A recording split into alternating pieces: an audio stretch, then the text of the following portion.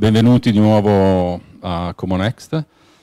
Oggi parleremo appunto di, di metaverso uh, e lo affronteremo legato al tema della manifattura. Questa è un po' l'agenda della giornata per cui dovrete aspettare un'oretta circa prima dell'aperitivo, uh, ma oltre all'aperitivo avrete anche la possibilità di provare, di toccare con mano uh, il metaverso o le tecnologie che lo abilitano ci ritroveremo sopra il bar, per cui Sopra il bar ci sarà uh, l'area dimostrativa e avremo la possibilità di uh, fare networking e bere qualcosa tutti insieme. Prima uh, parleremo appunto delle tecnologie, lo faremo io e Ivan introducendo il concetto di metaverso generico e poi quello più interessante credo per voi rispetto ai temi della manif manifattura per poi dare la parola a tre aziende del parco che stanno sviluppando e che stanno investendo su realtà aumentata, realtà virtuale eh, e eh, sul digital twin, quindi la capacità della linea di produrre da dati che poi vengono interpretati e messi a disposizione attraverso quelle tecnologie. Uh, ci sarà poi l'intervento dell'avvocato Vitaliano che farà uh, un escurso sui temi della, uh, dei, del diritto e di come l'interpretazione giuridica sta gestendo tutta questa parte eh, di novità che ovviamente ha delle implicazioni sulla vita quotidiana di tutti noi, ma anche delle implicazioni ovviamente all'interno delle aziende. E finiremo con uh, il classico Q&A, se qualcuno avrà delle domande da porci ovviamente noi siamo qui per rispondere a tutto quello che ci verrà sottoposto. Per cui partiamo uh, rispetto a una definizione di metaverso uh, che genericamente io utilizzo per introdurre il concetto, per cui che cos'è eh, il metaverso? Il metaverso è una rappresentazione virtuale in cui noi utilizziamo degli avatar, quindi una rappresentazione virtuale dei, dei singoli individui per interagire eh, tra di noi. Avatar ovviamente che sono personalizzabili. Introduciamo anche un primo, e scusate abbasso perché sennò rischiamo di non sentire più niente, eh, un primo concetto di metaverso, un primo esempio che è quello di Sandbox, per cui eh, in questo video eh, potete eh, capire e iniziare a familiarizzare con un metaverso che sta uh, vivendo e che ha tutte le caratteristiche intrinseche di uh, una persona che viene rappresentata da un avatar e che inizia a interagire con altre persone perché crea eventi, acquista delle, uh, delle strade, piuttosto che costruisce delle case e inizia a, a, interagire con il mondo virtuale, con le altre persone che sono inserite all'interno di questo metaverso. Quindi capite bene che rispetto alla manifattura siamo lontani, eh, siamo lontani rispetto al concetto che eh, riguarda la fabbrica e che possiamo considerare come rilevante per noi. Eh no,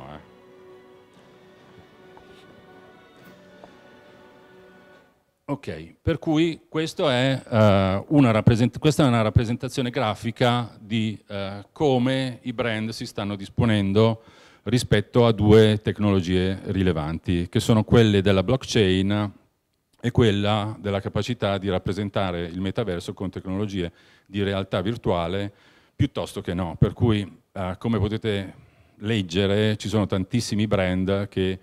sono vicini al mondo dei videogiochi, per cui trovate eh, Roblox piuttosto che Fortnite e il tema ludico all'interno del metaverso è fortissimo perché eh, è quello il mondo in cui si sta sviluppando realmente, per cui il metaverso adesso è molto legato al tema dei videogiochi. Uh, ma ci sono anche altri tipi di metaverso che si stanno sviluppando, come quello di Spatial, che in realtà inizia a, a porsi come obiettivo quello di creare degli eventi, eh, il tema del volume nel metaverso è un problema, degli eventi in cui è possibile mostrare delle opere d'arte, interagire con queste opere, acquistarle attraverso NFT, creare eventi di nuovo e come vedete interagire con, con altre persone. Uh, sono uh, esperienze che ancora però non, non, ci hanno portato a identificare il metaverso come un mondo in cui eh, è possibile sviluppare tutto ciò che si vuole. Il, il, tema del metaverso nasce sostanzialmente in questo periodo perché? Perché l'evoluzione tecnologica ci consente di utilizzare dei visori che prima non erano disponibili, per cui le tecnologie ci danno accesso a visori veloci, con capacità di calcolo fortissime e con connessioni che ci permettono di interagire con altre persone. L'altro tema è quello dell'interazione umana, per cui le nuove generazioni non gradiscono più solo un'interazione attraverso il testo piuttosto che le immagini. Hanno bisogno di interagire con uh, dei video, con uh, rappresentazioni grafiche più evolute, con il 3D, perché hanno bisogno di vedere come le altre persone reagiscono di fronte a certi stimoli, quindi come cambiano per esempio le espressioni del volto, come si muovono all'interno dello spazio. Ma perché qualcuno ci sta investendo così tanto come, come meta? Perché eh, ovviamente ha degli interessi fortissimi. Questo è eh, il grafico che rappresenta come le persone nel mondo stanno utilizzando le, le, le diverse piattaforme, per cui non ci dobbiamo sorprendere che Meta stia investendo così tanto, per cui nelle prime quattro posizioni tre brand appartengono sostanzialmente a Meta, per cui Facebook, Whatsapp e Instagram insieme a Facebook Messenger hanno una copertura mondiale che eh, solo Facebook arriva ad essere di 3 miliardi di utenti unici, per cui se no, loro non anticipassero i tempi e quindi non prevedessero che cosa andrà a succedere tra eh, poco tempo, ovviamente perderebbero tantissima base e tantissimi utenti che molto probabilmente utilizzerebbero altre modalità di interazione. Per cui il tema è, per Meta, anticipiamo la tecnologia, anticipiamo i trend, perché se no rischiamo di, di perdere questo tipo di, di utenti. Applicazioni invece spostate verso uh, l'industria o comunque verso attività di business sono tantissime, eh, ma soprattutto riguardano le tecnologie abilitanti, per cui realtà aumentata e realtà virtuale applicate ai temi della formazione dove è possibile attraverso queste tecnologie formare le persone eh, e dare loro l'esperienza molto più viva e efficace rispetto a quella che verrebbe invece in un'aula con eh, una persona che insegna agli altri che cosa dovrebbero fare. Della manifattura ovviamente parleremo, avremo degli esempi sul, sul retail, eh, nel mondo del mercato immobiliare eh, di KR sta investendo eh, per esempio per dare la possibilità ad un'azienda di presentare ovviamente eh, le offerte attraverso le tecnologie abilitanti, quindi realtà virtuale e a volte anche realtà aumentata. Il grosso problema di questa tecnologia al momento è l'interoperabilità, ossia la possibilità che quei metaversi che avete visto possano dialogare tra loro, per cui il mio avatar e la mia esperienza digitale non può essere trasportata tra uh, il metaverso di Facebook con quello che arriverà di Apple ancora, per cui non c'è questa possibilità di portare il nostro bagaglio digitale da un mondo ad un altro, per cui questo è un tema che dovrà essere superato affinché il metaverso si diffonda e diventi uh, comune come mezzo di, di comunicazione e di esperienza. Sostanzialmente siamo in una fase in cui ci, ci troviamo di fronte a un proto-metaverso, per cui siamo di fronte a un metaverso che è il web negli anni 90, per cui eh, siti eh, non ancora come ce li aspettiamo e come dovrebbero essere, eh, siamo di fronte ad esperienze che devono essere migliorate, ci sono degli aspetti etici che devono essere affrontati come li si affrontava eh, negli anni 90, per cui ci si chiedeva se il web fosse un canale di comunicazione, un mezzo efficace per fare l'e-commerce. Non era ancora chiaro se tutti i temi eh, che noi adesso diamo per scontati fossero eh, stati superati. E il tema della regolamentazione eh, è un tema che deve essere risolto e appunto l'avvocato oggi ci chiarirà alcuni di questi, esatto, alcuni di questi aspetti. Rispetto all'hype che stiamo vivendo, uh, dove siamo? Questo è, è, un grafico per chi mastica di tecnologia abbastanza famoso, per cui è il ciclo della tecnologia uh, che normalmente ciascuno di esse affronta prima di diventare una tecnologia comune e eh, sviluppata. Per cui a eh, inizio, anzi a metà del 2022, Il metaverso era nella sua fase sostanzialmente iniziale con un'aspettativa perché diventasse una tecnologia ormai digerita e pronta per essere eh, posta sul mercato di circa dieci anni. Uh, per cui uh, diciamo mediamente uh, una realtà assolutamente plausibile. Per darvi un'indicazione, l'intelligenza artificiale generativa era ancora più in basso rispetto al metaverso, per cui in una fase molto più embrionale di crescita. Oggi invece la situazione è completamente diversa, per cui il metaverso ha superato addirittura quella fase di picco dell'hype tecnologica, siamo in una fase in cui eh, non c'è più l'interesse che c'era prima, ma le tecnologie sono rimaste e la possibilità di utilizzare questa tecnologia assolutamente c'è. Nel contempo eh, l'intelligenza artificiale ha eh, raggiunto il picco di hype, perché tutti ne stiamo parlando, e forse l'aspettativa di sviluppo posta su 5-10 anni invece adesso è molto più breve e eh, sarà pronta come tecnologia disponibile per tutti, anzi forse lo è già, eh, in questo momento e abbiamo eh, superato i tempi che erano stati previsti nel 2022. Per chiudere, eh, un'altra eh, considerazione rispetto a che cosa succederà a giugno, per cui questa immagine è un po' esemplificativa di quello che succederà, per cui Apple eh, molto probabilmente a giugno presenterà il nuovo visore che aprirà di nuovo un contesto completamente diverso perché quando Apple lancia un prodotto lo fa in maniera massiva con delle caratteristiche uniche eh, e spesso, come è successo con l'iPhone, apre un nuovo modo per interagire con quella tecnologia e accelererà quei tempi che abbiamo visto prima essere di, di circa dieci anni. Io vi ringrazio per adesso uh, e lascio la parola a Ivan Parisi che ci parlerà del contesto del metaverso applicato alla fabbrica e, di, e quindi di Industrial Metaverse. Grazie Max. Allora, come ha detto, a me spetta il compito di introdurre il metaverso nel mondo industriale, quindi sarà una breve diciamo, presentazione delle caratteristiche principali che serve per introdurre poi gli interventi che mi precederanno, che sono invece molto più specifici su casi e su applicazioni. Quindi partendo un po' da, dalla storia, quindi lo stato dell'arte dice che una ventina d'anni fa già nascevano i primi simulatori che permettevano mh, di eh, progettare impianti nuovi, macchine nuove, quindi il loro scopo era proprio quello di verificare la bontà di un progetto, quindi la fattibilità di un progetto. Eh, nel tempo si è evoluto, quindi non solo sull'aspetto diciamo, funzionale, ma anche sull'aspetto proprio ehm, fisico, inteso come dimensioni, quindi verificare che l'impianto all'interno diciamo, dello spazio previsto oppure quanto spazio ci serviva per realizzare quell'impianto fosse realizzabile. Eh, quindi si è aggiunta su una progettazione ormai tridimensionale la quarta dimensione che è il tempo, quindi per verificare le prestazioni. Eh, qui ne vediamo un esempio, quindi dove è possibile proprio far vedere gli oggetti che si muovono, come avverrebbe nella, nel caso reale, e quindi il progettista aveva modo di verificare effettivamente la bontà della sua soluzione. Normalmente questo tipo di, di software, questo tipo di applicazione terminava la sua funzione nella fase proprio di progettazione, quindi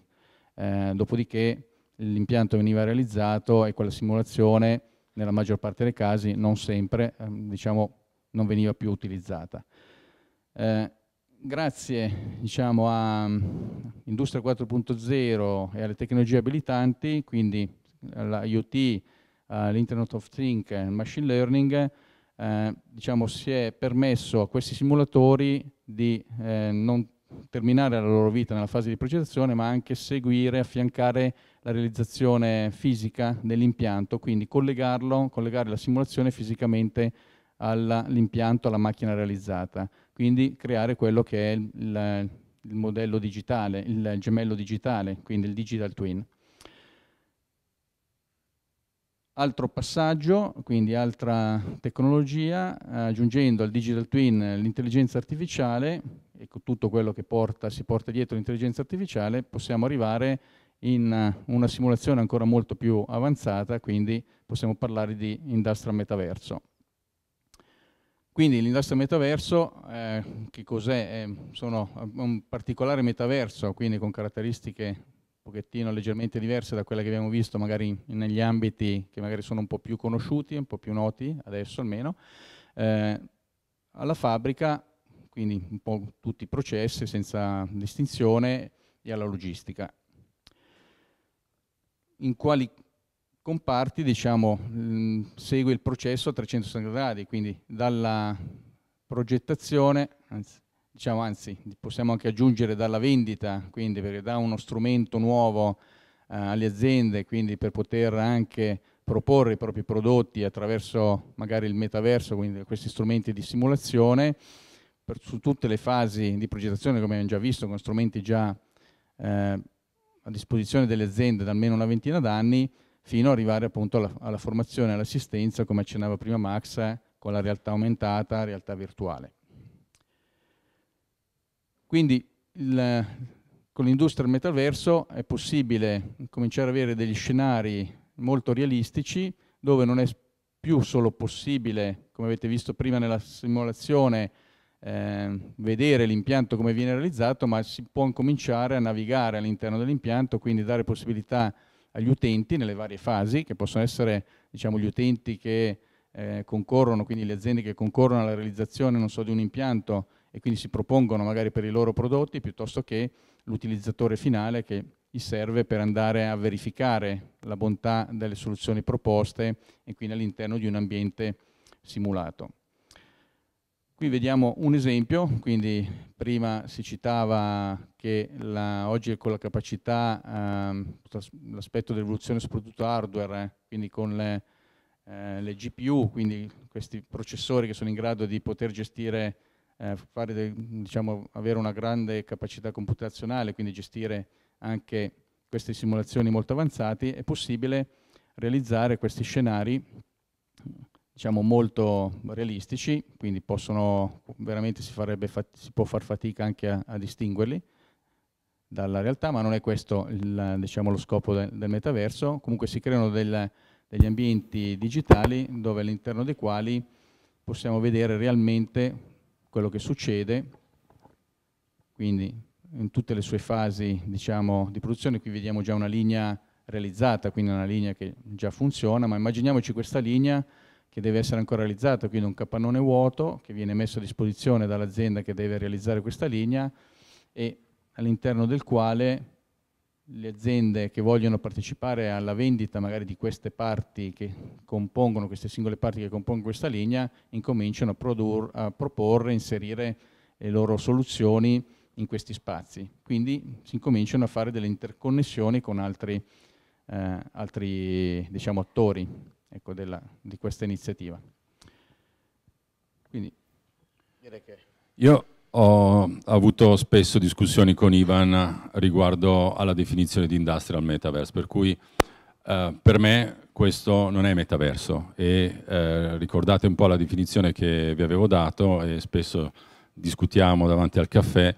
eh, rispetto a che cos'è in realtà questo. Questa è per me eh, una tecnologia abilitante eh, come la realtà virtuale, per cui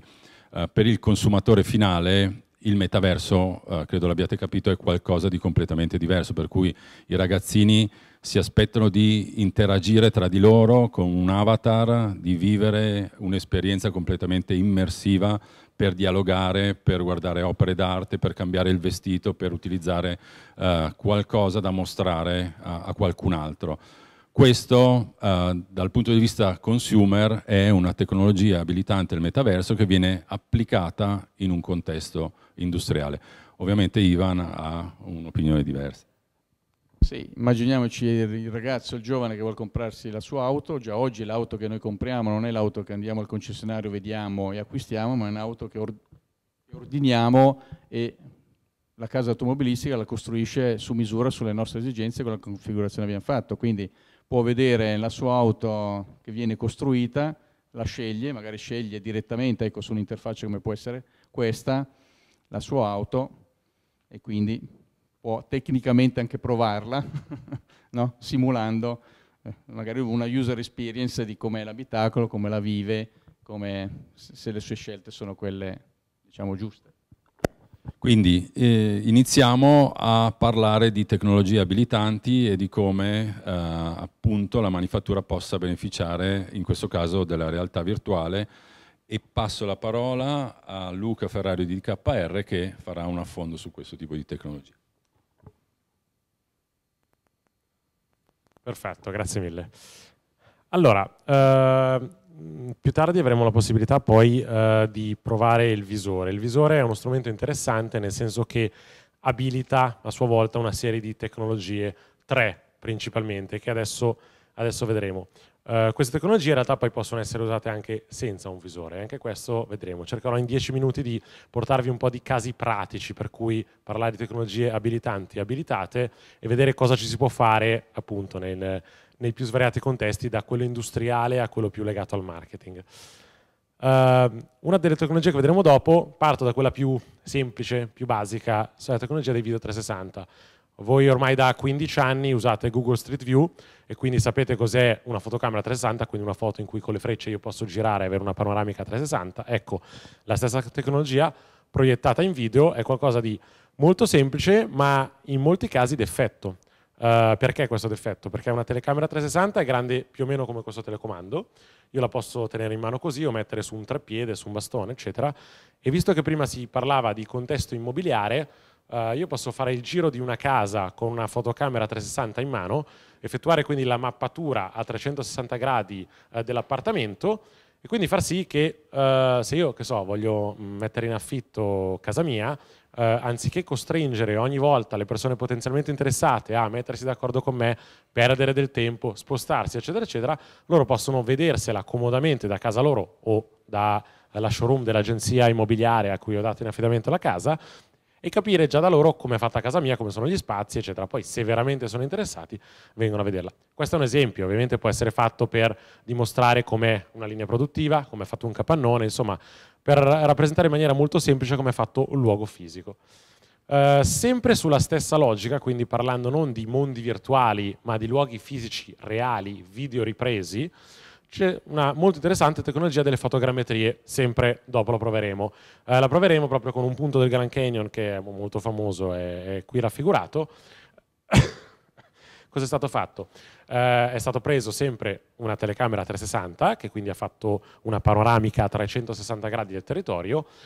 è stata però sovrapposta a questa una nuvola di punti scansionata con un sensore LIDAR. LIDAR ormai sono inclusi anche negli iPhone di fascia alta, sono delle specie di rilevamento radar in cui lui mi rileva lo spazio circostante, quindi manda un segnale, vede come, si, eh, come viene eh, riflesso il segnale Uh, facendo questo riesce a disegnare gli spessori, capire che lì ci sono delle colonne, che qua c'è qualcosa che ingombra, che poi sono le sedie, eccetera, eccetera. Ecco, sovrapponendo l'acquisizione video a questi sensori che danno la profondità, si riesce a generare un ambiente navigabile. Infatti dopo vedremo che io con il visore indosso posso camminare in questo spazio e avere veramente la percezione di essere là, perché se cammino il contesto si muove, come se io mi muovessi qua e vedessi il, il contesto che si muove. Quindi queste sono tecnologie abilitate molto interessanti, nel senso che lascio a voi la fantasia di immaginarvi gli utilizzi più o meno illimitati.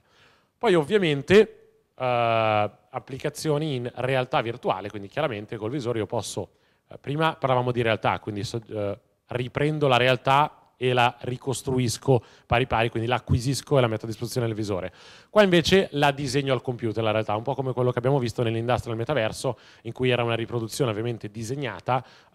di una realtà. Può essere verosimile, quindi può essere la riproduzione di un luogo fisico, può essere totalmente fantasiosa. Qua vediamo qualche esempio che ne abbiamo fatto direttamente. Quello in basso a destra è ovviamente un videogioco eh, che riproduce un ambiente che non esiste in realtà, eccetera.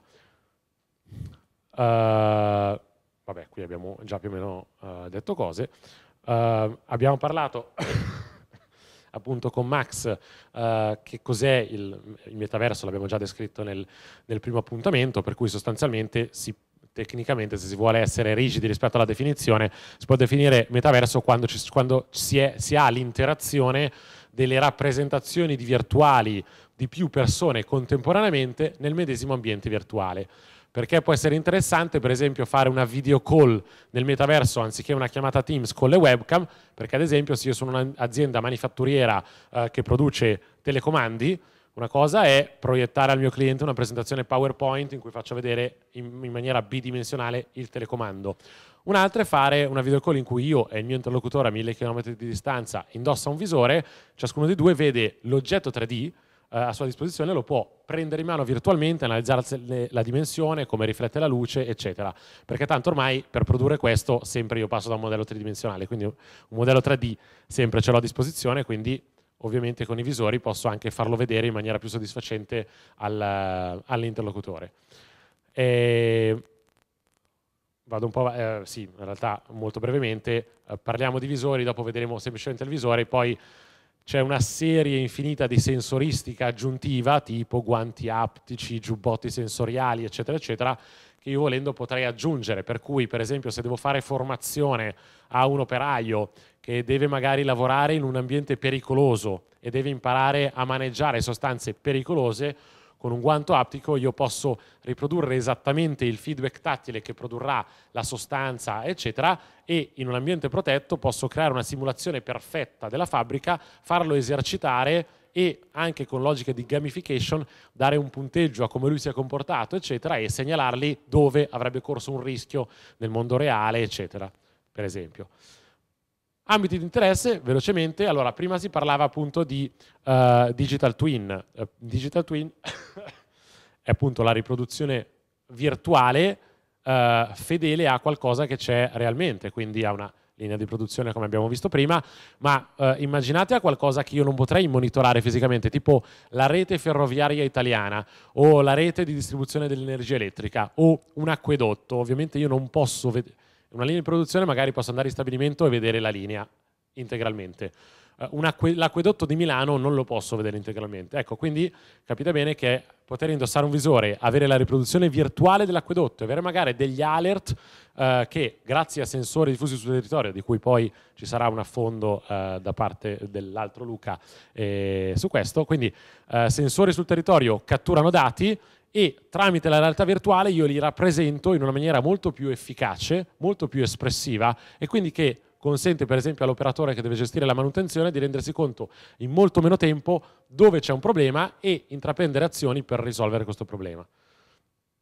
Uh, qui salto perché abbiamo detto, dopodiché come vi dicevo prima, oltre alla diciamo, uh, realtà virtuale e tutte le tecnologie di cui vi ho molto brevemente accennato adesso, aprono la porta più o meno a utilizzi infiniti 3D commerce, quindi l'e-commerce in 3D, quindi col vantaggio di, ok, io afferro la bottega, posso riprodurre, che so, un supermercato virtuale, quindi cammino effettivamente fra gli scaffali, vedo effettivamente N prodotti, afferro l'olio d'oliva come se fossi nel punto vendita fisico, ma il vantaggio rispetto al punto vendita fisico è per esempio che mi appaiono in sovraimpressione informazioni legate alla tracciabilità, mi appare un filmato dell'agricoltore che ha colto proprio quelle olive, insomma anche poi a livello di marketing cioè, ci si può inventare la qualunque.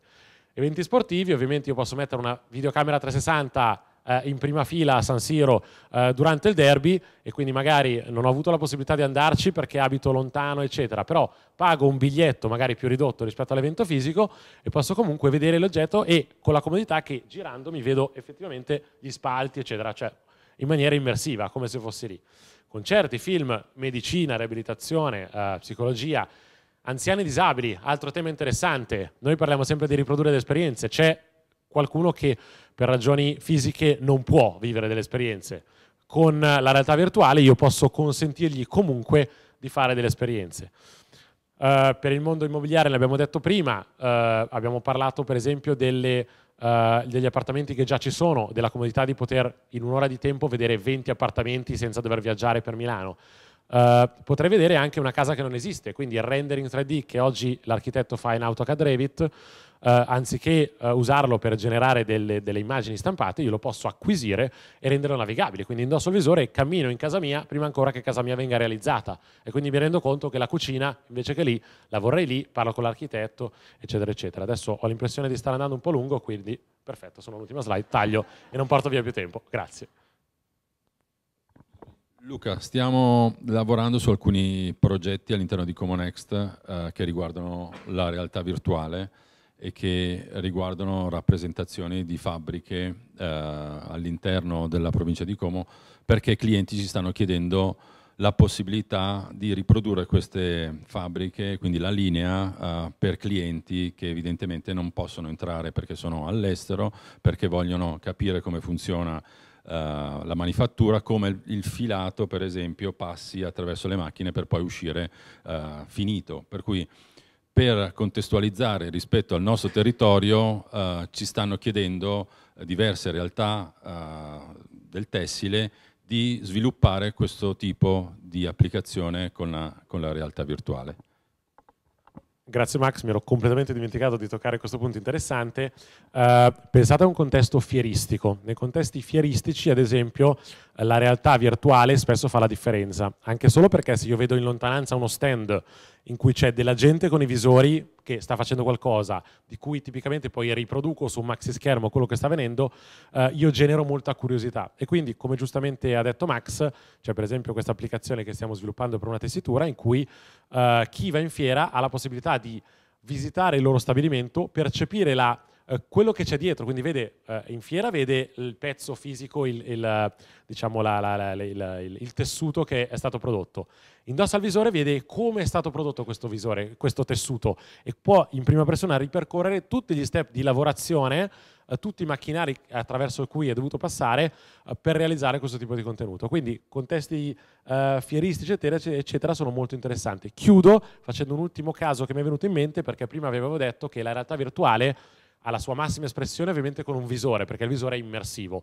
In realtà può essere usata anche senza il visore. Uh, c'è stato un caso in cui un grande produttore, uno dei più grandi produttori mondiali di uh, ascensori, Uh, aveva la necessità di, che so, uh, c'è l'architetto che sta progettando il Burj Khalifa a Dubai, deve dotarlo di un ascensore, tipicamente c'è un venditore che dalla Germania o da altre nazioni vola fino a Dubai per fargli vedere uh, quali sono, gli fa vedere un catalogo, eccetera, e poi di solito l'architetto, se gli interessa, vola in Germania per entrare nei prototipi di ascensori. Ecco, non è un processo esattamente efficiente. Uh, presto, cosa potranno fare grazie all'applicazione che stiamo realizzando? Uh, il venditore uh, di Dubai va direttamente a Dubai con un tablet e può in diretta insieme al cliente personalizzare con lui in questo caso è l'ascensore, ovviamente potrebbe essere la qualunque, grazie all'utilizzo di realtà virtuale, quindi vedere se metto la radica per terra e se metto la maniglia con le finiture in non so cosa, come verrà effettivamente il prodotto finito, quindi ovviamente per la rappresentazione, quindi anche per la, a supporto della rete vendita in questo caso, produce un risparmio enorme nei costi di vendita e, e anche una comodità per il cliente finale, eh, è chiaro che poi il cliente finale una volta che ha deciso vorrà comunque vedere una campionatura fisica, giustamente, però io virtuale gli posso far vedere 100 campionature, una cosa che non potrei ripercorrere, quindi vi ho fatto l'esempio dell'ascensore, ma applicatelo al vostro ambito di interesse. Con la realtà virtuale è molto economico produrre campionature, eccetera, ne posso produrre una quantità infinita e poi fare nel mondo fisico solo quelle realmente interessanti per il cliente. Adesso mi taccio davvero. Grazie mille Luca, spero che alcune suggestioni stiano iniziando a passare anche in maniera concreta su come questo tipo di tecnologie possano essere applicate anche nei vostri contesti. E adesso Simone Soggio di Xpro ci uh, parlerà della seconda tecnologia abilitante, per cui della realtà aumentata. Grazie Max. Dunque, um, prima di, di, passare ai casi applicativi e degli esempi um, appunto concreti, eh, ci tengo a, a, precisare un po' qual è il vantaggio, il valore della, della realtà aumentata, perché questa tecnologia effettivamente um, dovrebbe essere adottata in alcuni processi, eh, soprattutto eh, aziendali, industriali. Dunque, dovete vedere la realtà aumentata come un, una nuova interfaccia, un nuovo modo di visualizzare le informazioni che provengono dal digitale. Um, un tempo eh, usavamo um, grandi schermi, adesso eh, i laptop permettono di avere uno schermo integrato e gli smartphone hanno integrato e, in, qualche modo unito quella che è la tastiera, il mouse e lo schermo nello stesso oggetto. In futuro ehm, tutto questo sarà smaterializzato e quindi la realtà aumentata sarà la nostra interfaccia e quindi quello che eh, ci permetterà di accedere al cloud, alle informazioni, alle mail e alle chat con, con i nostri amici. Quindi dimenticandoci anche dell'ultimo, eh, dell'ultimo oggetto fisico che ancora un po' dà fastidio in alcuni, in alcuni momenti. E quindi eh, il valore della realtà aumentata è quello di contestualizzare l'informazione che proviene dal mondo digitale. Quindi a tutti voi sarà capitato di utilizzare il navigatore eh, in auto e nonostante uno strumento digitale estremamente preciso e accurato ci dicesse dove eh, andare e quindi che direzione prendere, eh, siamo riusciti a sbagliare strada. Questo perché? Perché c'è proprio un, eh, una distanza cognitiva che il nostro, il nostro cervello fa fatica a processare tra quelle che sono le informazioni che provengono dal mondo digitale e quello che è invece il, il contesto reale. Quindi la differenza che c'è tra una mappa ehm, riportata digitalmente, quindi se vogliamo perfetta, con strade e incroci, rispetto invece a quello che è la, la strada reale, con eh, pedoni che passano o eh, lavori in corso. E quindi la differenza tra, il, ehm, tra quella che è una visualizzazione digitale e una, visualizz una visualizzazione in realtà aumentata è proprio questa, contestualizzare eh, l'informazione digitale direttamente sull'ambiente che, che ci circonda e questo quindi eh, permette di facilitare la comprensione del, delle informazioni. Vediamo come questo può eh, facilitare semplificare le attività nel, mm, nel mondo manifatturiero. Eh, dapprima vediamo un esempio sul, sulla progettazione, quindi eh, progettare un, un, nuovo prodotto oppure discutere delle modifiche eh, su un, um,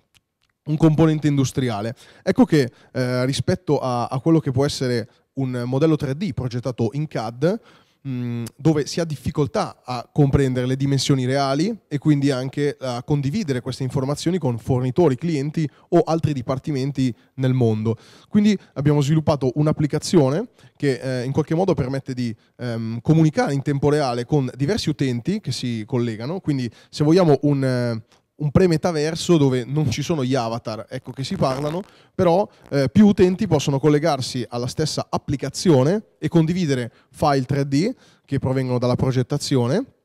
direttamente appunto dal sistema, ehm, dal sistema CAD e quindi senza la necessità di un intervento manuale che producesse questi, questi file e quindi aggiungere eh, note di eh, revisione e eh, annotazioni che poi potessero, possono essere condivise e ehm, discusse con i progettisti in seguito alle riunioni. Quindi un modo per ehm, discutere e condividere i, i, risultati di progettazione sia all'interno che eh, con eh, personale esterno all'azienda come appunto clienti e fornitori. E quindi questo per prototipizzare più rapidamente e ridurre i costi anche di prototipi fisici. Vediamo invece una volta che il prodotto è stato eh, progettato e deve essere venduto sul mercato e quindi presentare il prodotto in un modo innovativo è sicuramente essenziale. E qui portiamo il, ehm, il caso di Ikea che eh, quindi ha digitalizzato completamente tutto il catalogo prodotti e permette di visualizzare il, il catalogo in realtà aumentata. Questo permette di, eh, al cliente finale di posizionare il, um, il proprio arredo in realtà aumentata in scala reale nel proprio ambiente. Quindi vedere il, il prodotto direttamente a casa propria per vedere come sta ed evitare errori di acquisto legati alle dimensioni o a ehm, diciamo, incongruenze rispetto a quella che può essere una visione ehm, limitata data da una semplice immagine che, che rappresenta la descrizione del prodotto su un e-commerce. E quindi questo pensiamolo applicato anche in ambito eh, industriale, come diceva prima anche eh, Luca, al, alle fiere o al, alla creazione di un catalogo digitale di prodotti che eh, permetta alla forza vendita di facilitare la condivisione con eh, il cliente di quelle che sono tutte le varianti di prodotto non, eh, diciamo, non, non, vi ho citato gli strumenti con i quali è possibile fruire della realtà aumentata, però sicuramente il più diffuso è proprio lo smartphone e eh, i tablet, quindi attraverso la fotocamera e una semplice applicazione o anche direttamente da interfaccia web è possibile ehm, fruire di questo tipo di esperienze. Alternativamente sono disponibili dei visori specifici che permettono di visualizzare oltre alla realtà appunto la sovrapposizione di, eh, di elementi digitali. E, um, questo quindi abbiamo visto il caso di un catalogo prodotto aumentato, quindi un prodotto che non c'è e viene posizionato nell'ambiente, ma mh, mm, si può fare di più e quindi si può eh, andare a sovrapporre su un prodotto fisico delle animazioni, delle aggiunte di informazioni che permettono di rendere animato il prodotto e di spiegarlo in modo molto più interattivo e immersivo. Quindi immaginiamoci, in questo caso per esempio a una fiera, un prodotto che è statico non può essere eh, messo in funzione e quindi invece in questo caso lo rendiamo molto interattivo spiegando le funzionalità dell'automobile, la scheda tecnica in un modo estremamente eh, grafico, immersivo, che permette anche di creare una memoria un impatto sul, sul cliente sul visitatore e quindi avere anche un, una spiegazione effettivamente molto più chiara che un, una serie, una lista di funzionalità, di schede tecniche che poi devono essere in qualche modo interpretate. Ancora una volta possono causare un errore di interpretazione da quello che è il mondo digitale, quindi un video per esempio, a quello che è il mondo eh, reale. E quindi eh, in questo caso attraverso un tablet, eh, anche qui potendo dotare sia la forza vendita che rilasciare un'applicazione pubblica perché tutti i, i, clienti possano magari in futuro acquistarsi e configurarsi un'auto in realtà aumentata direttamente nel loro garage. Ma passiamo invece alla parte più... Um, appunto più leggera di questa applicazione, che è addirittura l'utilizzo della realtà aumentata direttamente da browser, quindi integrare questa tecnologia all'interno del proprio sito web, permettendo di visualizzare il prodotto in realtà aumentata, ma anche in 3D, quindi direttamente nel, nel browser. E quindi eh, la stessa esperienza è fruibile sia eh, su dispositivi desktop che anche su dispositivi mobile, permettendo di posizionare, come abbiamo visto prima, proprio, eh, diciamo, l'oggetto dell'e-commerce piuttosto che il prodotto del, che, che, vogliamo promuovere nell'ambiente del cliente, quindi previsualizzarlo prima ancora di, poterlo, eh, di doverlo acquistare. In questo caso vediamo lo specchietto di, eh, un, um, di una moto e quindi è possibile analizzarlo e um, vedere tutte le sue eh, dimensioni in scala reale prima ancora del, dell'acquisto.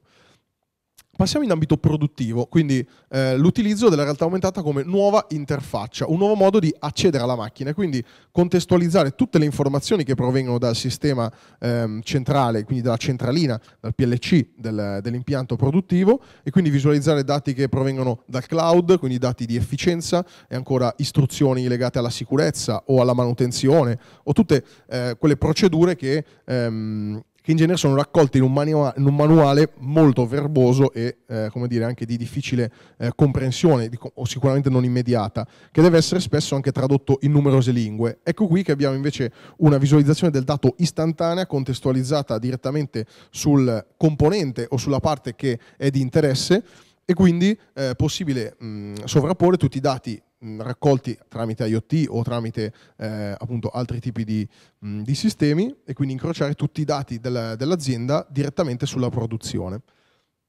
Nello specifico ehm, un'applicazione molto interessante è quella della manutenzione, quindi eh, portare delle istruzioni step by step che guidano l'operatore sulla, sulla macchina nella risoluzione di un malfunzionamento o nella riparazione di un guasto codificato o ancora nel, nelle procedure di installazione di un nuovo macchinario e quindi permettendo eh, di ridurre fortemente l'errore e di guidare appunto eh, step by step la procedura di intervento. In questo caso vediamo eh, un operatore che eh, effettua una, una, procedura di manutenzione per la sostituzione della calandra in, eh, su un, una linea di, di, produzione e quindi vediamo come sia gli strumenti che ehm, i componenti stessi della macchina vengono evidenziati, animati, sovrapponendoli al, alla reale in modo estremamente fedele grazie alla corrispondenza univoca con il software di progettazione eh, 3D e quindi ehm, proprio a partire dal 3D vengono fatte queste istruzioni e ehm, codificate perché poi possono essere distribuite direttamente con la macchina. Quindi non vendo più il manuale, eh, diciamo non fornisco più la macchina con un manuale cartaceo, ma fornisco lo strumento, quindi il visore, la tecnologia di visualizzazione che poi verrà continuamente aggiornata e, um,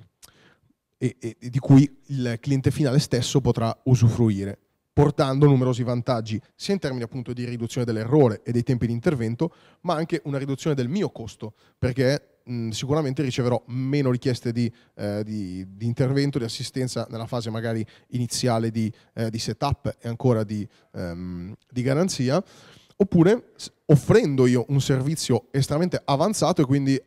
un, eh, potendo aumentare quelli che sono i, gli introiti proprio dalla, dalla, parte di service, grazie a, eh, a, un servizio molto più efficiente, che permette anche a una manodopera meno come dire, formata o specializzata di poter intervenire da remoto, riducendo di molto la parte anche di, eh, di trasferte. Quindi questo lo vediamo per guasti estremamente codificati, procedure di manutenzione precise. Nel caso in cui non, non ci sia una come dire, una, pre, ehm, una premeditazione del, dell'azione da fare, si eh, adotta la realtà aumentata per l'assistenza remota, che consiste in una chiamata audio-video che permette di, eh, di scambiare informazioni, aggiungere annotazioni alla realtà. Mh, mm,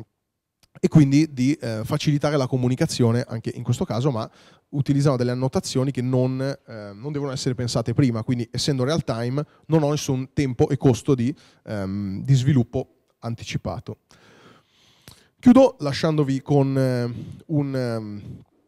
una suggestione rispetto a quello che eh, secondo noi potrebbe essere un metaverso guidato non solo dalle tecnologie di realtà virtuale, quindi tecnologia oggi più, eh, più diffusa e considerata promettente rispetto all'ambito metaverso, ma un esempio legato alla realtà aumentata per il metaverso. Quindi quello che dicevo prima, l'utilizzo di un, um,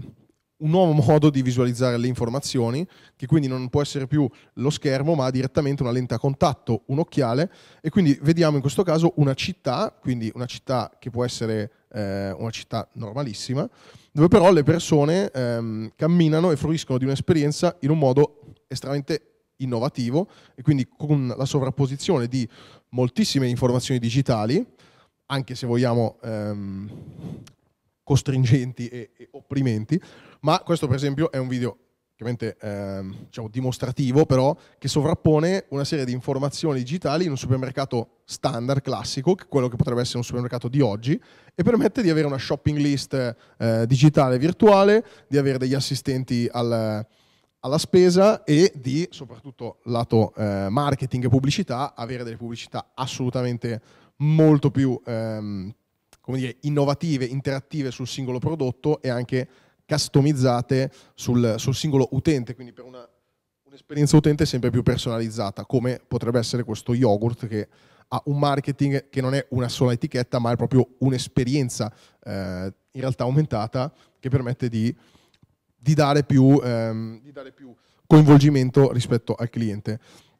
Ecco, adesso ehm, diciamo, il video simula un, un hackeraggio, un malfunzionamento e quindi a breve vedremo quello che è la situazione reale, quindi quello che, ehm, che, è lo store nella realtà e non quello che, che, viene visto con gli occhi diciamo, di un filtro in realtà aumentata. E quindi vedremo un supermercato normale, un supermercato come, come quello che, che, siamo abituati a vedere, ehm, ma con la, la, differenza che appunto attraverso una lente a contatto piuttosto che un occhiale molto, molto sottile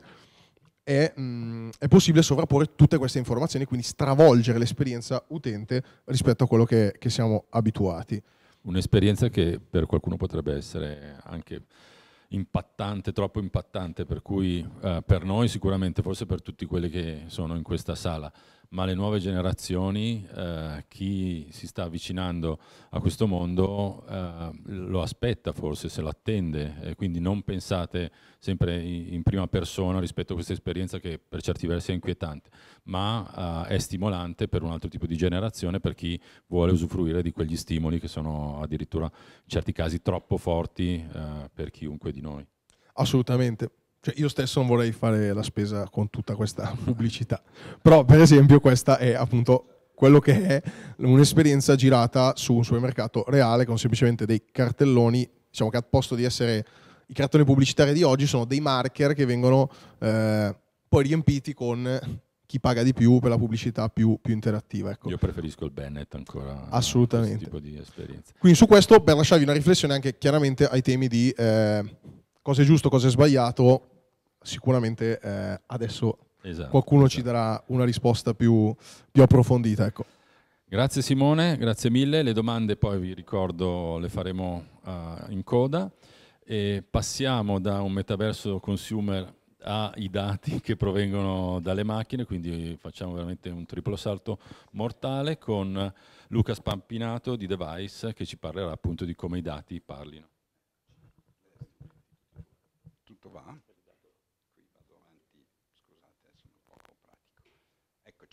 Allora, ehm, come avete capito benissimo, anche perché è stato citato molto,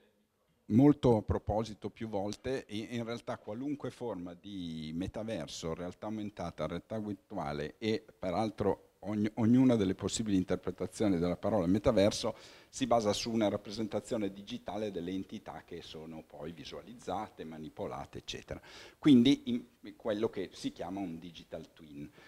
Il, quindi adesso parliamo molto brevemente di Digital Twin, siccome è la tecnologia che sta dietro la scena, è naturalmente noiosissima rispetto alle meraviglie che abbiamo visto fino adesso e quindi cercherò di stare il più stretto possibile, però è uno sporco lavoro, qualcuno deve pur farlo.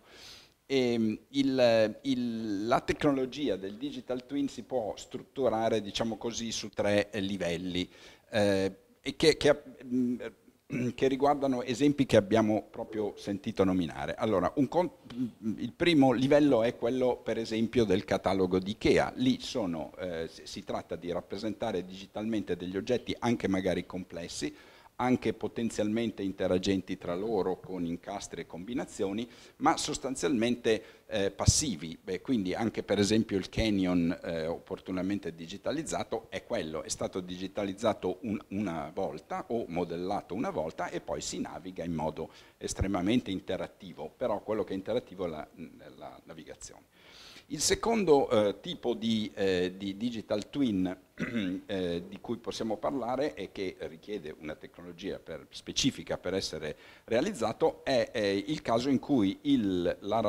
l'oggetto col quale si vuole interagire in realtà produce dei dati. E quindi la rappresentazione digitale è in, continuamente aggiornata con questi dati che vengono, eh, che vengono generati dal, eh, dal, digital twin, cioè dal, dal, dal, non digital twin, cioè dall'oggetto fisico. Io adesso qui sto considerando un esempio che è molto simile a quello che citava Luca del monitoraggio eh, della ferrovia, eh, stiamo parlando di un caso reale che abbiamo trattato che eh, sono... Mh, mm, smart city, quindi eh, apparati di illuminazione per esempio eh, stradale, di controllo parcheggi, eh, di controllo energetico, gestione energetica, gestione rifiuti, eccetera. Tutti eh, oggetti che sono ehm, sensorizzati, quindi producono anche grande quantità di dati e con i quali si vuole interagire in, in, vari modi. Beh, tendenzialmente la, le applicazioni più di base sono appunto quelle di IoT che servono a fare monitoraggio e controllo. Su queste si può, anzi ultimamente sempre più spesso, si montano poi delle, eh, delle eh, modalità di interazione che spostano l'applicazione nel metaverso.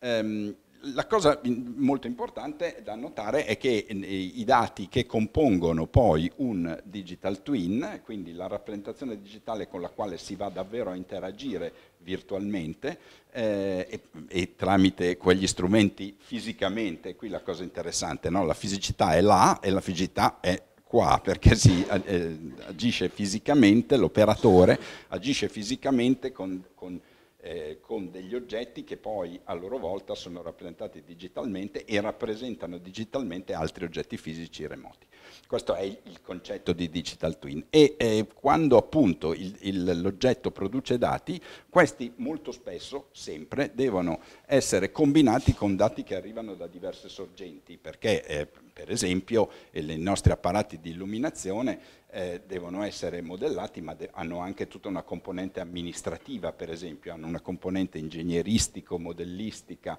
ehm, e eh, appunto diciamo di, di eh,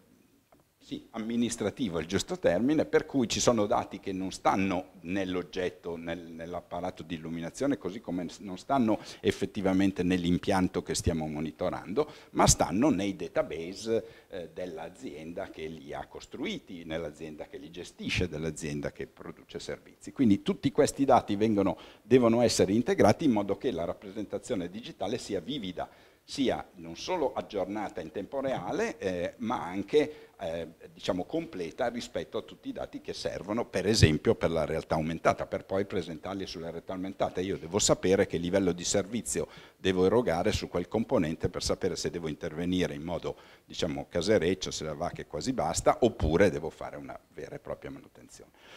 E questo diciamo, è la, la, base del digital twin. C'è un, un, livello ulteriore che è quello che eh, in, in, molti casi i, i, i, le entità che si stanno modellando digitalmente eh, subiscono delle trasformazioni di stato. Queste trasformazioni di stato possono venire molto spesso centralmente, cioè io sto monitorando una rete appunto idraulica, in questo caso eh, sto monitorando una eh, città con un'illuminazione e devo decidere eh, le regole di accensione e spegnimento di queste luci, quindi un, una diciamo, configurazione che viene dal centro, che viene dall'operatore, magari lo farò toccando uno dei dispositivi virtualmente rappresentati nel mio metaverso, ma di fatto sto facendo una, un cambio di stato dell'oggetto fisico e, e, quindi lo faccio sull'oggetto eh, digitale che poi si occuperà tramite tecnologia IoT di comunicarlo all'oggetto fisico. Però molto spesso, sempre più spesso, i, in realtà le, le, i cambiamenti di stato possono essere eh, generati da configurazioni locali eh, remote, per dire il, gli operatori che aggiustano i sistemi di illuminazione fanno delle riconfigurazioni dinamiche degli apparati di illuminazione. Lo stesso è vero ancora di più con qualunque apparato industriale eh, c'è la configurazione dell'intero processo e la configurazione della singola macchina che magari è modificata eh, opportunisticamente da un operatore locale. Naturalmente questa stessa cosa è ancora più evidente quando siamo davvero in un modello di metaverso dove non c'è un operatore, ci sono n operatori che poi mm, possono mm, diciamo, eh, collaborare, mm, collaborare tra loro giocando in un gioco eh, fantascientifico oppure possono collaborare essendo diversi operatori in un ambiente industriale che svolgono compiti diversi e ciascuno di loro agisce sullo stato dell'entità. Quindi c'è questo problema, no? asincronicamente cambia lo stato. E, e, quindi quello che io rappresento poi per tutti gli operatori, il, il controllore nel caso di una smart city, eh, ma un, nel caso di metaverso tutti quelli che, che partecipano diciamo così, al gioco, eh, ha, ha, questo problema, cioè questi eh, eh, cambiamenti di stato asincrono possono eh, causare fluttuazioni, deadlock, cioè i tipici problemi poi dell'informatica. E quindi quello che è, necessario fare in questi casi, quindi per questo terzo livello eh, diciamo di digital twin, abbiamo detto il primo livello è oggetti sostanzialmente modellati una volta per tutti e navigati, eh, ma sostanzialmente statici, il secondo livello è eh, oggetti che ricevono dati dal campo e quindi eh, presentano un'evoluzione un di dati, uno stato aggiornato eh, eh, dinamico ma sostanzialmente non influenzabile, quindi che si vede solo, e invece oggetti fisici che eh, possono subire configurazioni eh, asincrone e indipendenti da sorgenti multiple. Ecco, in questo caso è necessario sincronizzare que tutte queste attività con un componente specifico. Noi ne abbiamo realizzato uno che abbiamo eh, recentemente pubblicato open source, che quindi può essere utilizzato da chiunque, eh, poi sarò lieto di dare le indicazioni a chi interessa, e, eh, e che permette appunto di eh, modellare il, il, modo in cui le diverse configurazioni eh, potenzialmente in conflitto eh, devono essere sincronizzate in modo tale che la rappresentazione del digital twin sia sempre coerente e permetta esattamente le cose che avete visto prima, diciamo, essere fatte. Eh, direi che mi fermo qua perché è sufficientemente esatto. Noioso. Luca aveva tantissime altre slide ma andavano sì. ancora più a fondo rispetto all'argomento, abbiamo detto se qualcuno magari è interessato poi all'Atare eh, se ne può parlare. Naturalmente. Però il tema del palco che vi trovate qui davanti rispecchia un po' quello che noi facciamo con la Next Innovation, per cui come Common Next siamo in grado di costruire un progetto Uh, partendo dalle basi, quindi dal campo che genera dei dati per portarlo poi in una rappresentazione grafica con la realtà aumentata e la realtà virtuale delle aziende, aziende che potrebbero comporre un team uh, che va a lavorare per portarvi all'interno del digital twin. Quindi questo è un palco che rappresenta un po' uh, le tecnologie all'interno di Comonext che possono sviluppare un progetto di digital twin e che vi possono aiutare nel metterlo a terra e nel creare tutta questa esperienza. A meno che però l'avvocato uh, ci dica che non sia possibile farlo, però qualcuno ha detto Usti, eh, ho sentito bene. No, no, non ci preoccupiamo. Quindi ora uh, diamo la parola all'avvocato per introdurci sui temi Grazie. Ed è un avvocato creativo perché usa Canvas, per cui dobbiamo passare. Io boomer ancora comunque, eh, perché Canvas ormai è superato. Abbiate pazienza. Ok.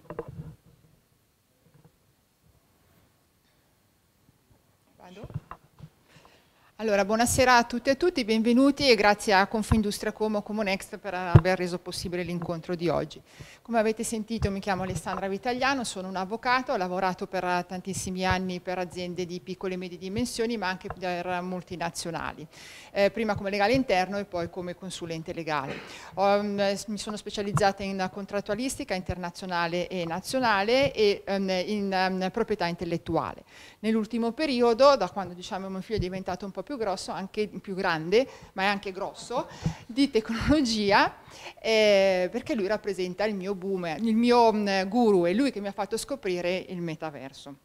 Perché è così importante parlare oggi di metaverso? L'abbiamo visto, è al centro dell'innovazione, molto si è sviluppata la realtà virtuale, molto si è sviluppata la realtà aumentata, ma poi anche perché il metaverso costituisce un vero e proprio ecosistema, un ecosistema economico. Non sappiamo ancora come si svilupperà il metaverso in futuro, però sappiamo che darà lavoro ad un numero sempre maggiore di persone e quindi come ecosistema economico deve essere in qualche modo disciplinato. Per darvi un'idea dell'importanza del metaverso vi faccio due esempi. Sono stati citati primi, prima i eh, videogiochi. Il metaverso nasce un po' dal videogioco. C'è un, un, gioco in particolare voglio, di cui voglio parlarvi che si chiama Fortnite. Fortnite è un gioco che non si basa su blockchain, ma è un gioco a cui alla fine del 2022 erano iscritti 350 milioni di utenti con un'età media diciamo dai 9 ai 12-13 anni.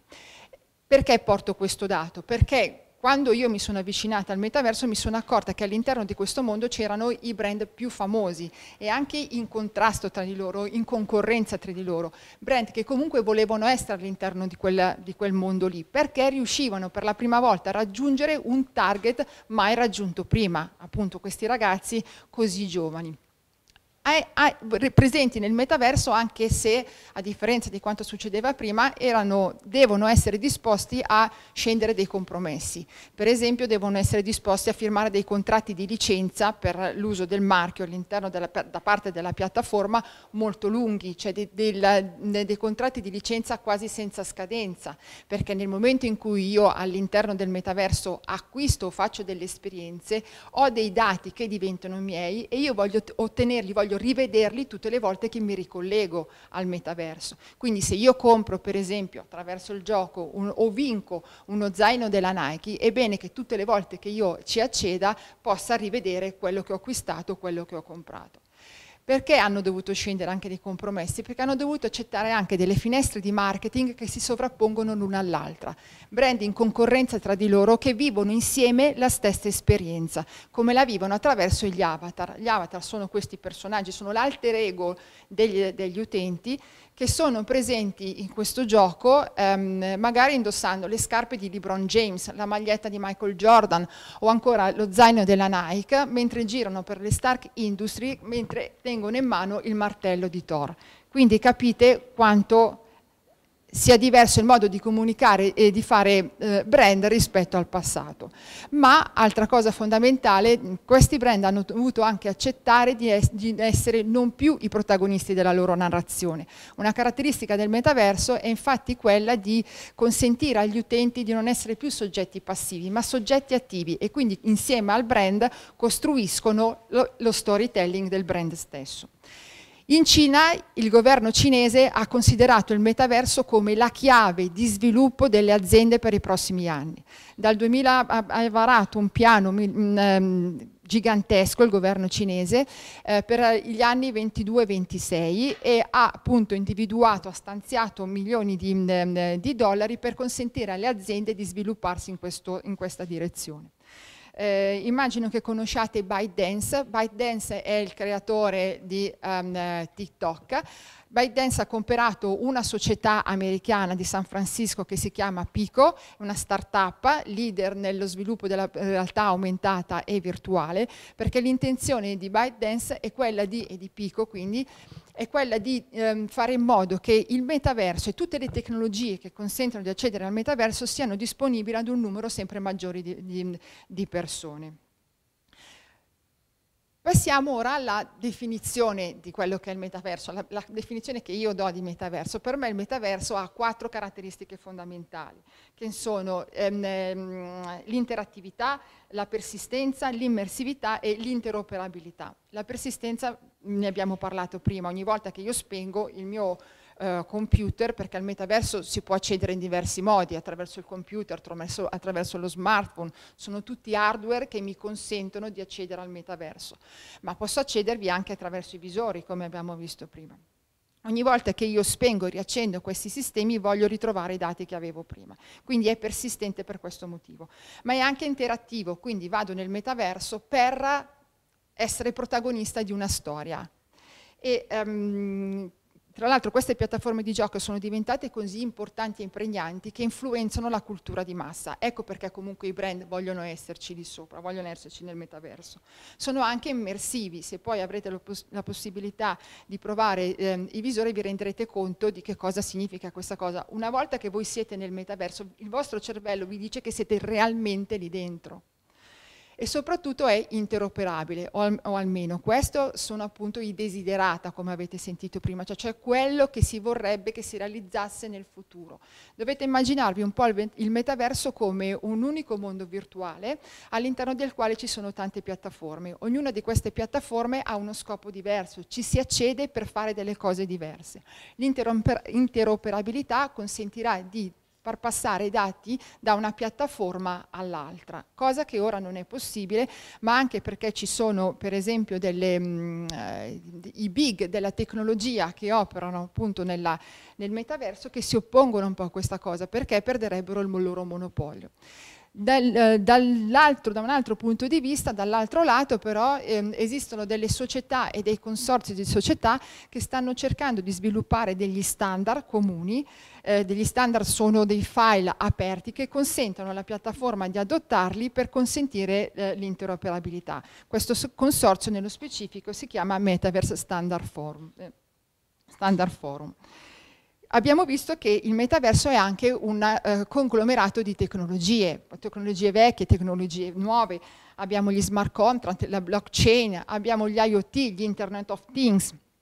tutti sistemi questi peraltro che consentono di raccogliere, come abbiamo appena visto, un numero enorme di dati. Alcuni di questi dati sono dati sensibili e a questo punto la domanda è come faccio io a regolare questi dati? Ci sono già delle norme, per esempio noi per il trattamento di, da, eh, di, di alcuni dati possiamo utilizzare quello che è il GDPR, quindi la norma sulla privacy. In alcuni casi le norme possono essere applicate com così come sono, altre volte invece dovranno essere adattate altre volte ancora invece si dovrà evitare di um, usare queste norme per il metaverso per evitare di ingabbiare la tecnologia e quindi in futuro occorrerà trovare il giusto equilibrio. Non, non dobbiamo pensare però che ciò che succede nel metaverso non abbia riflessi nella vita reale. Per esempio ci sono dei reati che possono essere commessi anche all'interno del metaverso, pensate all'adescamento di minori, ehm, le minacce, ehm, ma anche la violazione dei diritti di proprietà intellettuale. A proposito vi porto un caso, ehm, ehm è capitato eh, che una, un utente facesse una denuncia alla piattaforma perché all'interno di questa piattaforma il suo avatar sia stato palpeggiato da un altro avatar. Allora, cosa è capitato? Eh, succede anche questo cos'è successo?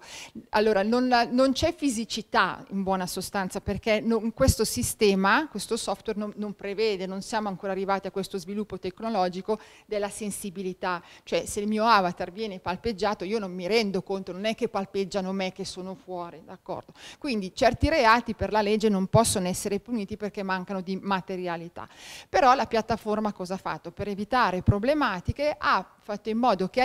che venisse, ci fosse l'opzione per gli avatar, quando si sentono in difficoltà, di inserirsi all'interno di una bolla. Questa bolla tiene a distanza gli altri avatar e quindi evita il contatto fisico. Non contenta, la piattaforma ha fatto un passo in avanti e ha messo di default, quindi obbligatoria, la distanza di un metro e mezzo tra un avatar e l'altro. Quindi questi avatar più di tanto non si possono avvicinare. Cosa, cosa mi porta a dire tutto questo? Che per il futuro sarà fondamentale non soltanto il legislatore, ma la collaborazione tra le istituzioni e le piattaforme. Per esempio, adottando dei termini e delle condizioni che siano molto chiare sul comportamento che si deve tenere all'interno del metaverso, oppure ehm, ehm adottando delle, delle, procedure di eh, denuncia facile dei reati, o ancora adottando dei sistemi di ehm, eh, risoluzione delle controversie diversi da quello che può essere il Tribunale. Questi sistemi di soluzione delle controversie esistono già, probabilmente verranno allestiti, tra virgolette, all'interno della, eh, del metaverso e consentiranno di risolvere anche queste ehm, problematicità. Ma senza dubbio sarà importante anche la cultura degli utenti, cioè dovranno essere un po' istruiti gli utenti che accederanno al metaverso, per evitare quelli che vediamo già oggi, che vengono soprannominati, diciamo così, leoni da tastiera. Quindi non è che nel metaverso è concesso tutto quanto, anzi.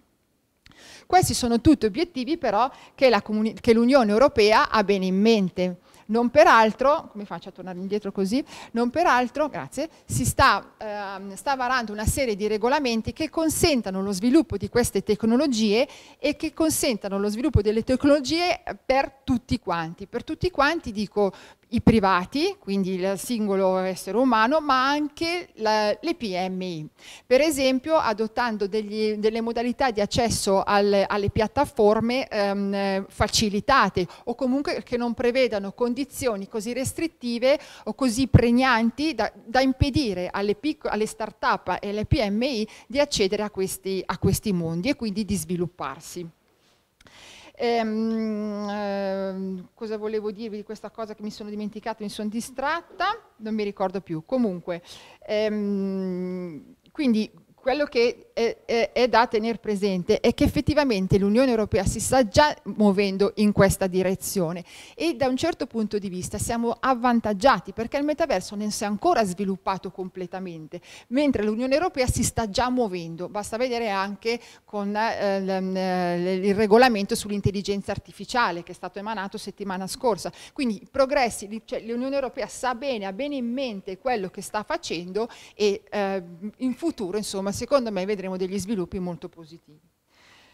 Cosa succede in Italia? Abbiamo visto realtà virtuale, realtà aumentata, quello che mi preme sottolineare come dal mio punto di vista è che questi progetti sono bellissimi, però nel momento in cui create dei gemelli digitali che a volte sono metaverso, a volte non lo sono, sarà bene che voi proteggiate le vostre informazioni confidenziali, perché è vero che nella maggior parte dei casi si tratta di sistemi chiusi, di sistemi a cui accedono soltanto le persone che voi decidete di far accedere, ma comunque condividete magari il vostro know-how, magari condividete i vostri segreti commerciali che avete fatto fatica a raccogliere nel corso degli anni e che costituiscono per voi un patrimonio inestimabile, cioè è un elemento di quelli che costituisce per le aziende un vantaggio competitivo sul mercato. Quindi prima di far accedere a queste realtà, a questi gemelli digitali qualcuno, anche se si tratta del dipendente che deve fare training prima di essere messo sul campo, è bene fargli firmare degli NDA, dei non disclosure agreement, cioè degli accordi di, di, eh, di segretezza. Vi faccio, um, eh, ecco qui inquadro l'hardware, ma vi volevo soffermarmi un attimo sul software. Esistono tre tipologie di software, software um, proprietari, di solito vengono sviluppati dalle grandi piattaforme come può essere Apple, software invece dati in licenza, ma a quel punto bisogna pagare delle royalty, e software invece open source. Nel, secondo caso, quindi nei software dati in licenza e nel software open source, è bene guardare cosa dicono le condizioni di contratto per non trovarsi poi in difficoltà nel momento in cui vengono utilizzati. Tra parentesi, attenzione che nel nostro ordinamento il software è protetto dalla legge sul diritto d'autore, in altri ordinamenti invece il software è protetto dal brevetto, quindi le condizioni sono diverse. Due esempi velocissimi su realtà virtuale e realtà um, aumentata, la VURT ha creato un gemello digitale attraverso il quale fare assistenza da remoto ai propri clienti, un po' come avete visto. Quindi mi collego col computer attraverso il visore, vedo quali sono le istruzioni direttamente sul visore e riesco a, a risolvere il problema. Cosa ha fatto la VURT? Ha fatto un upgrade anche del suo brand, perché in questo modo ha comunicato al pubblico che non solo agisce subito, non perde tempo e c'è un risparmio sotto tanti punti di vista, ma c'è un risparmio anche di tempo perché il tecnico non deve prendere la macchina per spostarsi da dove si trova per arrivare a destinazione. Quindi se io non prendo la macchina vuol dire che arrivo prima, possono essere immediatamente operativo, ma vuol dire anche che non inquino. Quindi Wurt è anche un brand che sta attento all'ambiente. In questo modo ha aumentato la percezione che il brand ha sul mercato. Inoltre ha istituito, ha creato un metaverso all'interno del quale accedono i clienti che hanno bisogno di assistenza. Questo metaverso, eh, in questo metaverso i clienti sono assistiti da avatar, avatar che possono essere i dipendenti di, della stessa Vurto che pure possono essere avatar creati dall'intelligenza artificiale. Nel momento in cui un avatar non è disponibile per fare l'assistenza perché magari è impegnato con altri clienti, il cliente che si trova nel metaverso può andare a vedere la mostra d'arte che è stata allestita, può andare nella sala cinema a guardarsi il film oppure può andare a teatro e passare il tempo in attesa che arrivi l'avatar per dargli assistenza. Anche in questo caso c'è stato un upgrade del brand. Ultima cosa, Eni, ultimo esempio, Eni ha in programma di sviluppare una, um, un progetto di fusione magnetica non mi chiedete cos'è perché io non ne ho idea, però è un progetto, che questo mi ha colpito, che potrà trovare luce, potrà essere realizzato concretamente soltanto nel 2050. Per poterlo realizzare però cosa bisogna fare? Avere dei finanziatori. Quindi come faccio a, capire, faccio, come faccio a far capire ai miei finanziatori le potenzialità di questo progetto? Glielo faccio vedere attraverso la realtà virtuale. Glielo faccio vedere in questo modo, glielo faccio capire. Allora, l'ultima cosa, veramente l'ultima, e poi vi lascio a qualcosa di meglio del mio racconto. Um, credo che non possiamo far finta di niente, cioè siamo già circondati dalla tecnologia, non la si può ignorare. Quello che dal mio punto di vista si può fare è eh, capirla, conoscerla, prendere le conoscenze che abbiamo, smontarle, unirle con le nuove tecnologie e cercare di inglobare queste tecnologie all'interno dell'azienda. Bisogna avere però un progetto di sviluppo perché quello che va bene per me non è detto che possa valere e andare bene per, per altre aziende. Certo è che non si può fare finta di niente e di sicuro ci vuole la collaborazione di più figure professionali, dagli sviluppatori, dai designer, ma anche da chi come me si occupa di legge, perché i miracoli non li fa nessuno. Meglio quindi prevenire piuttosto che arrivare quando magari è troppo tardi. Quindi viva la tecnologia perché a volte è veramente più una questione culturale che non una questione tecnologica in sé. Grazie. Grazie, grazie mille Avvocato. Il primo intervento di un avvocato in cui non ho sentito nominare neanche un articolo di legge, incredibile. Assolutamente, anche e soprattutto di marketing mi sembra di capire. E lascio a questo punto a voi eh, delle domande, delle considerazioni rispetto a quello che è stato detto. Uh, il prossimo passaggio, come si diceva, è quello di andare nel bar di Comonex, quindi all'ingresso, uh, per poi salire nel piano superiore perché di KR ci ha messo a disposizione le tecnologie per farvi entrare nel metaverso, in un metaverso uh, e sperimentare un po' le tecnologie soprattutto di realtà virtuale rispetto alle altre e avrete la possibilità di vedere i video 360, di immergervi all'interno di un canyon e vivere questa esperienza unica, oltre ad assaggiare l'aperitivo che, ci è stato predisposto. Sono, sono tutte tematiche molto interessanti, forse non relative alla sessione di oggi, comunque sono temi che dobbiamo affrontare, eh, per cui i server eh, sono stati installati per esempio sotto il mare per questioni di risparmio energetico, sono stati portati eh, in Scandinavia, al nord, dove ci sono temperature eh, molto basse per evitare di consumare in termini di raffreddamento di quelle aree. Sono tutti temi assolutamente validi e che potremmo affrontare in un altro contesto Um, in questo contesto, uh, quindi nel tema del metaverso e delle tecnologie, ricordiamoci che queste non sono tecnologie che ancora sono definite, sono state costruite e che forse ci permetteranno anche di risparmiare a livello energetico perché non saremo più costretti a muoverci e quindi ad utilizzare la macchina. Forse saranno uh, metodi per migliorare la progettazione, quindi risparmiare materiali e quindi essere molto più efficienti ed efficaci nella progettualità. Forse ci permetteranno attraverso la manutenzione predittiva di interrompere la produzione, quindi di generare costi ulteriori e quindi di risparmiare rispetto a uh, un investimento che si è fatto a livello di progettazione di quella macchina. Per cui uh, questi sono, sono, dei modi in cui la tecnologia può uh, venire incontro a quelle tematiche di energia senza andare a toccare eh, che è un mio cavallo di battaglia, la macchina elettrica, ma questo è un altro contesto, ma eh, ci sono tutte delle tecnologie, il modo in cui le andremo ad utilizzare ovviamente dipende da noi, dipende dalla regolamentazione, dipende dalla comunità europea, da, da come noi intendiamo guidare questa evoluzione, come noi intendiamo risparmiare e salvare anche il pianeta su cui siamo. Comunque sono tutte considerazioni rilevanti, la tecnologia ovviamente su questo palcoscenico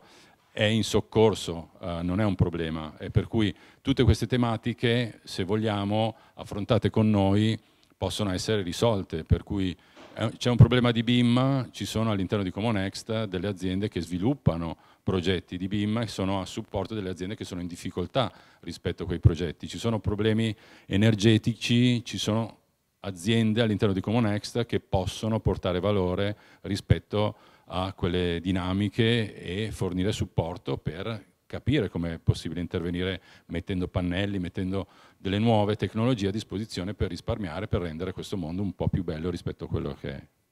Giusto, eh, grazie. Molto... Acceso, beh, spero che si senta. Eh, molto interessante, soprattutto sull'ambito del manufacturing e una domanda riguardo a quelli che, sono quelli che voi vedete come fattori critici di sviluppo, cioè quali sono i fattori per cui queste tecnologie che stanno entrando nelle aziende, che in qualche modo si stanno anche trovando un loro spazio, e, mh, quali sono i fattori per cui veramente si possono, come dire, ehm, diventare un fattore critico anche di successo? Faccio un esempio, una delle problematiche legate anche all'utilizzo dei visori è che c'è un problema fisiologico, cioè che più di tanto non si riesce a tenerli, soprattutto poi ci sono persone che hanno una particolare difficoltà. Allora, e quindi ci sono anche dei fattori legati proprio allo sviluppo della tecnologia e del device, altri legati alla velocità e alla capacità di... Ecco, quali da questo punto di vista saranno gli elementi che all'avverarsi del quale possiamo vedere una curva di, eh, diciamo, di incremento molto più rapida nell'utilizzo? Grazie della, della domanda, chiarissimo. Um, dunque, sicuramente il principale fattore di criticità che rileviamo dal, dal, diciamo, dal, mercato, e questo lo dico perché noi siamo attivi sul mercato dal 2017, quindi non sono tecnologie che devono venire, sono tecnologie che già sono presenti. È certo che ogni anno che passa cambia il livello di, di, di interazione. Um, però sostanzialmente il principale um, fattore di criticità è proprio la mentalità delle aziende e l'organizzazione delle aziende. Questo perché, eh, perché, come abbiamo visto, per esempio, la realtà aumentata è un nuovo modo per visualizzare le informazioni, però prescinde una riorganizzazione delle persone, una riorganizzazione dei ruoli e anche dei sistemi eh, che sottostanno, come abbiamo visto prima, a quella che è poi la, diciamo, la punta dell'iceberg, che è la visualizzazione dell'informazione. Cioè faccio un esempio, se io non ho un sistema per la mh, gestione delle procedure di manutenzione, che non vuol dire manutenzione predittiva o qualcosa di, di assurdo, semplicemente sapere chi eh, deve fare quali procedure in quale giorno e quali sono le procedure che sono state fatte nell'ultimo anno. È impensabile e comunque inutile andare ad adottare un sistema di realtà aumentata perché mancano delle informazioni che stanno proprio alla base. E quindi diciamo, questo gap di informatizzazione, digitalizzazione che sta sia diciamo, nelle aziende italiane ma assolutamente anche in Europa e, e, e anche in America, Um, e questo credo l'ostacolo maggiore. Um, poi chiaramente ci sono anche dei fattori legati all'hardware e alla tecnologia, ma personalmente non credo che sia questo oggi il, il, diciamo, il fattore critico. Ecco. Loro si stanno proprio sforzando per, per esempio per sviluppare eh, dei visori che non siano pesanti, che non facciano venire la nausea, visori che ehm, presentano diverse funzionalità a seconda poi del costo, no? proprio per dare la possibilità a tutti quanti di sperimentarlo. Però lo sanno che le problematiche sono queste, quindi ci stanno lavorando. Non siamo ancora arrivati ad un livello tale da, però comunque altra cosa tanti vecchi lavori verranno a perdersi, non ci saranno più. Eh, però l'intelligenza artificiale, eh, diciamo che il desiderata per il futuro è quello di far fare, per esempio, l'intelligenza artificiale quei lavori che sono di routine, che sono, che sono noiosi per le persone o che sono troppo stancanti. Quindi per, mh, con l'obiettivo di consentire alle persone di avere più tempo per fare le cose che gli piace fare.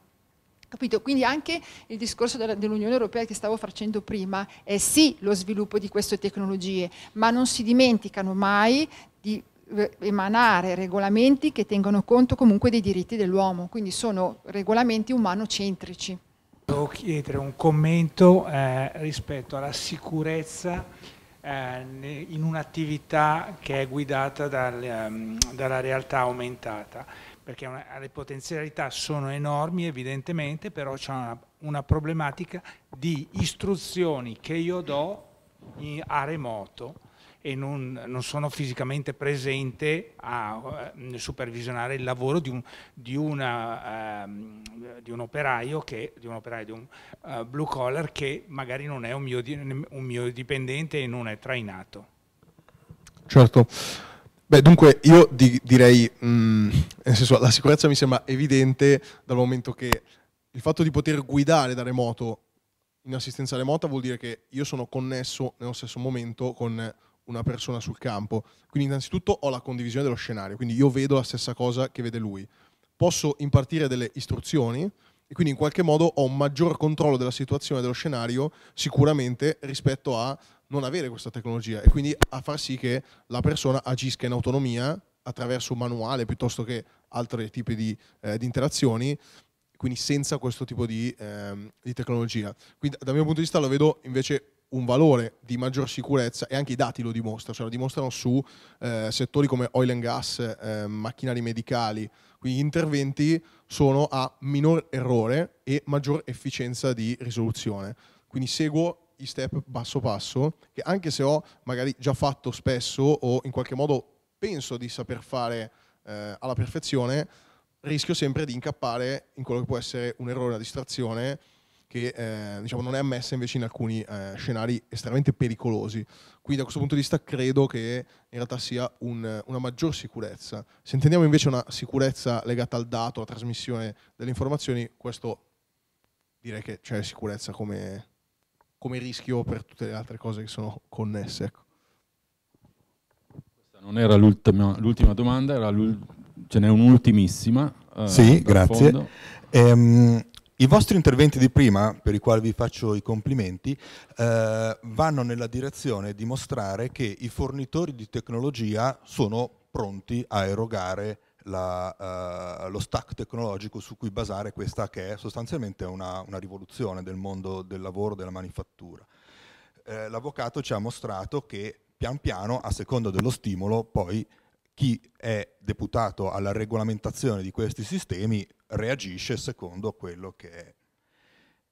Abbiamo una resistenza dovuta al fatto che il, eh, le aziende non si sono mai preoccupate, giustamente, perché non ha mai avuto la necessità di mettere via dati per manutenzione predittiva, per uh, tante belle cose, per cui mi sembra di capire che ci sia una parte dei corridori di questa corsa che è pronto, ma quello che chiedo è, nella vostra opinione, nella vostra, nei vostri studi,